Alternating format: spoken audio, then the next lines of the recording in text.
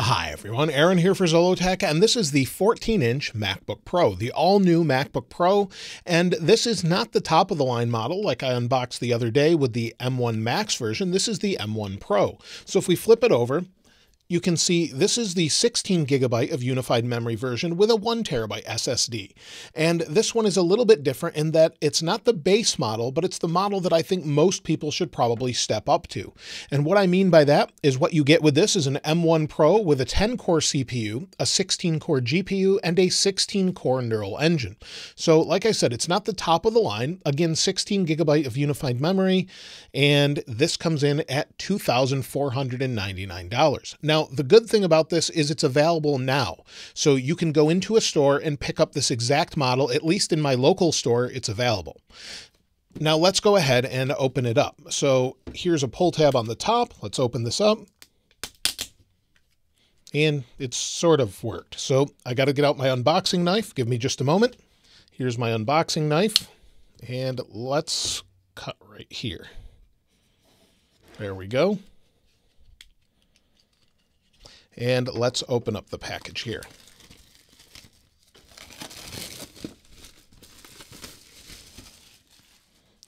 There we go. Now we'll compare this to the size of some other MacBooks, the previous generation and my first editing MacBook in a moment. But let's go ahead and open this up.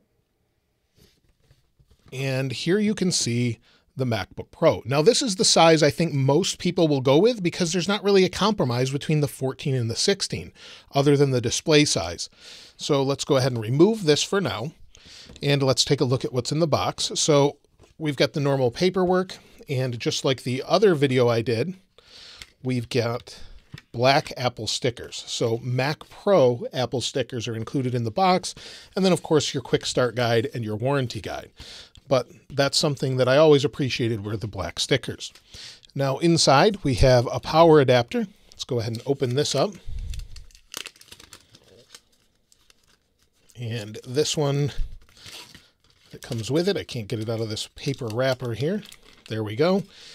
This one is a 96 watt adapter. So this is a USB-C adapter. And of course, again, we don't get the extender like you did years ago. You can buy one of those if you want an extension off the end of that. I, I always liked that, but unfortunately this doesn't come with it. But this is your typical 96 watt power adapter. And then we have, of course, the new MagSafe cable. So this is MagSafe to USB-C. So as you can see here, you've got USB-C on one end here, and then MagSafe on the other and you can see it's a little bit thinner than previous generation MagSafe. And then the other thing is this is a braided cable. So it's really nice and braided. So let's set this aside and look at the MacBook itself. So here's the MacBook and let's take the paper wrapper off here. And it looks very familiar, although now it's squared off, and of course it has MacBook Pro pressed into the aluminum of the outside, or aluminium, depending on where you live. And then it looks like we have pentalobe screws all the way around, and then of course the rubber feet. We also have vents on either side. Now, along the right side edge or left side edge, you have MagSafe, you have two Thunderbolt 4 slash USB-C ports, and a 3.5 millimeter headphone jack that also has high impedance support now, so that could sound a lot better. On the front, it looks pretty typical. And then on the right hand side, you have HDMI, another Thunderbolt 4 port, and an SD card slot. So just like the 16 inch, only a little bit smaller. So let's set this down and let me show you compared to the last couple generations. So here is a 2016 MacBook Pro. So if I place it on top, you can see the size difference. The M1 is the same sort of size, but it's a little bit bigger width-wise and sort of depth-wise is here. And then also thickness, you can see the difference as well. So it's definitely a little bit thicker. So I'm okay with the extra thickness since it reminds me of the previous generation. Now, like I said, I have my original editing MacBook, and this is a 2008 MacBook. And so this is when you could actually, you'll see it's pretty scratched up. This is when you could actually open the bottom and replace things yourself. So that's what this version is. We'll close that up. And to give you an idea of thickness, it's very similar to this one, although a little bit thinner. So this had a CD or super drive slot, and it gives you an idea of thickness. So it's not as thick as the older one with the drive slot in it, but it is pretty thick in general. So again, if I spin this around, you can see we had a ton of ports back then, and it, again, it gives you an idea of thickness. Now, this is definitely a step in the right direction, in my opinion, bringing back ports for pros that want different sort of connectivity, that SD card slot, and more, although we do have CF Express and things like that now. Now, this comes in at 3.5 pounds or 1.6 kilograms, and it's pretty heavy, but not really too much, and you'll get used to that pretty quickly. Let's go ahead and open it up. It's booting up, and the first thing you can see, of course, is that notch, and it's saying hello. And the notch doesn't really bother me, and I showed in the 16 inch version that the cursor goes behind the notch. So it's kind of something you wouldn't really expect. Maybe I thought it'd follow around the outside, or maybe we'll see a different behavior in the future, but it goes around the notch. Now let me go ahead and get this set up in just a moment, but as you can see, it has the black keyboard with the black background and full-size keys. So I love that it has full-size keys. We have our our power button or pretty much just our Touch ID button and then our volume keys. One thing we do not have is keyboard brightness. They've left that in the control center. So I went to press that yesterday on the 16 inch and realized it wasn't there. So that's something I wish they'd have instead of the microphone and sort of do not disturb button, but at least we have full size keys and a full size escape key. So we'll go ahead and set this up. I'll select my language. Once you select your language, we'll select our region. It's switched to the United States. We'll click continue. Then we have accessibility options, so vision, motor, hearing, and cognitive. Talked about that before. We'll hit not now, and then I'll connect to Wi-Fi. Now we've got data and privacy. We'll click continue, and then it's asking if I want to migrate from a different machine. I'll just click not now, and now we need to put in the Apple ID. We'll agree to the terms and click agree. Now we need to set a password for the computer. It's setting up iCloud now. After going into your account and clicking past Find My, now we have make this your new Mac. You can turn on or off options. So if you don't want device analytics on, you can customize that and change it and go back one by one or just leave everything as default. We'll just go ahead and click continue for now. Now we'll set up Touch ID. We'll put our finger on here and this is always really nice to have. No Face ID on this though, even though we have a notch. And again, we'll do that again, set this up. Touch ID is set up, and then we'll click continue.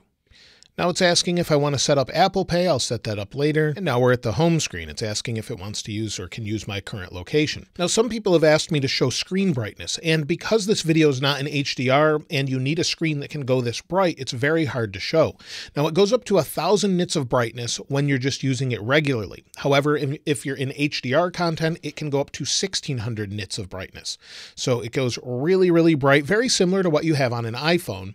And also, this is a 14.2 inch inch Liquid Retina XDR display. It's 3024 by 1964 with 254 pixels per inch.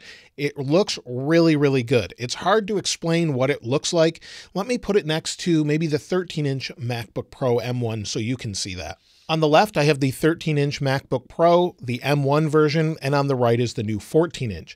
And so the screens, you can see the screen size difference. You have a little bit more room for the menu bar, and it looks pretty good overall. Now, as far as the screen brightness, like I said, I can't really show it because if I go full brightness, you're just not going to be able to see that on the camera.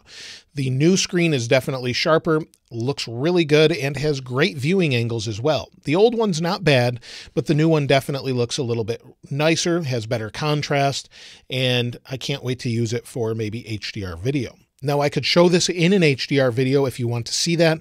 If you have a recent iPhone, you'll be able to see this screen brightness. So if you want me to show that in a different video, let me know in the comments below. Now, as far as the keyboard, you can see the difference here. You have the full size keys and they are basically the same, just with a black background.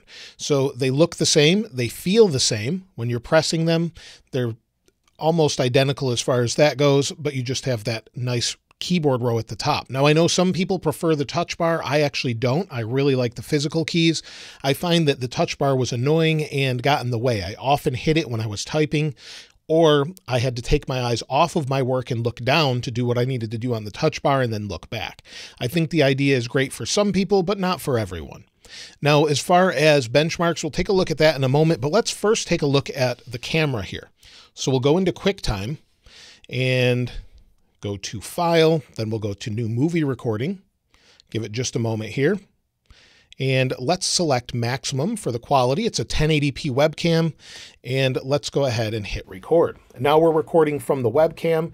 Now, like I said, it's only 1080p. It will be good for conference calls. And after looking at the footage from the 16 inch, it's just not that good. It's fine for conference calls and things, but the speakers and the audio are great, as well as the microphones. These are new studio mics, and they really sound quite good. They sound very close to this actual studio mic, and I was very surprised how good they've actually got them to sound. They have a better noise floor this time, so less interference, and it sounds very impressive for just small microphones inside a laptop. So we'll go ahead and stop that, and I'll export it. So we'll go to File, Export As, 1080p, and let's go ahead and just export that to the desktop, see how fast this is, and M1 Pro export. We'll give it just a moment to export. Saving and about five seconds left and we're done. So we'll delete that. Now we've got that file and we're good to go. So this is super fast. Now I'm not sure how it is compared to an M1 Max. We'll check that with benchmarks in just a moment, but let's also take a quick listen to the speakers. I've downloaded some royalty free music so we can listen to the speakers just a little bit. Let's go ahead and I'll move the microphone so you can hear it the same as me.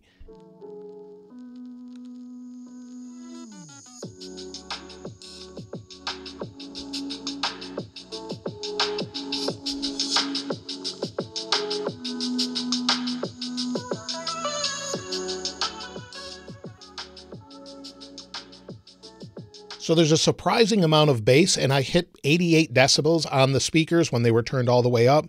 So they're plenty loud and they're very clear. Maybe you heard that, or maybe you didn't with the microphone, as you're only going to hear as good as the microphone can pick up. But they sound really good. I'm surprised at the amount, the amount of bass they have as well. Let's go ahead and check this keyboard out. It should be the same as the other, but I'll just type on it quickly. And let's do that. I'll move the microphone so you can hear what it sounds like.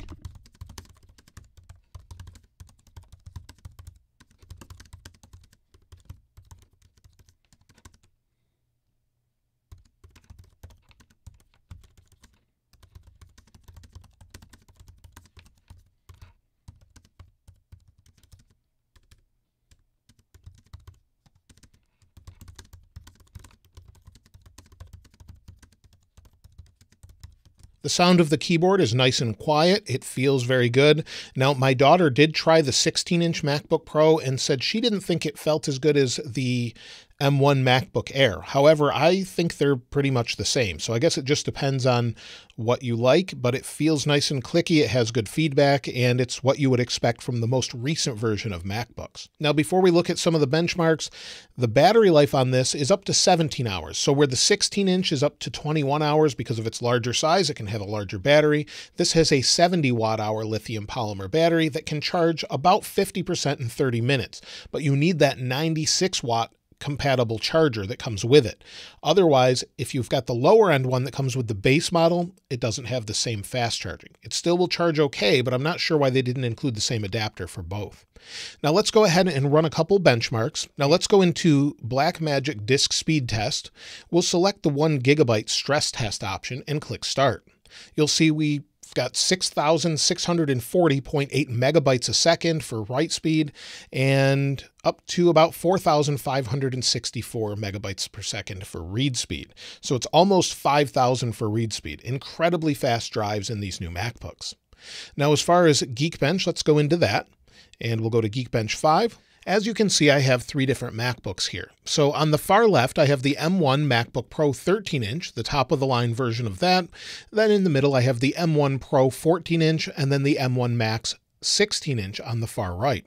I used the latest version of Geekbench 5 and ran the benchmarks, and I ran them multiple times to confirm the findings. So on the far left, we have the M1 version, and for single core, it scored 1,748.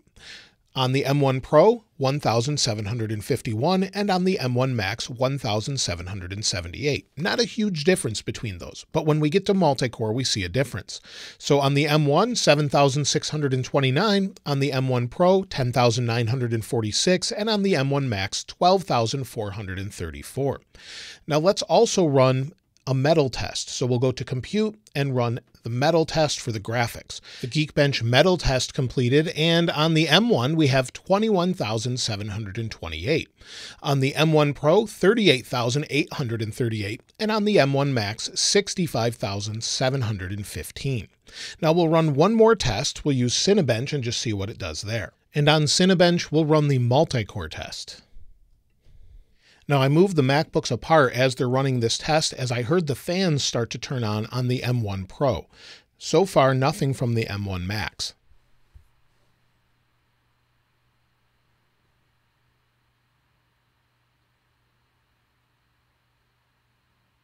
Now Cinebench completed and you can see that the devices are fairly hot right under the keyboard, about 98 degrees Fahrenheit under the M1 Pro.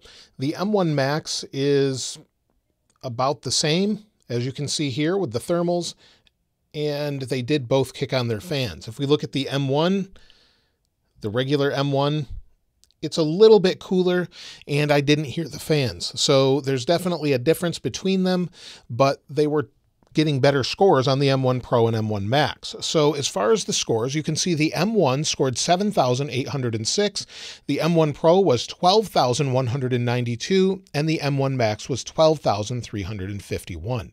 Now, this does not indicate that they're slow or anything like that since they're below a Ryzen Threadripper. That's quite an achievement, quite above a Core i9 CPU, and I think they're plenty fast of course, you've got to consider that they have different encoders on them. So the M1 Max has double ProRes encoders.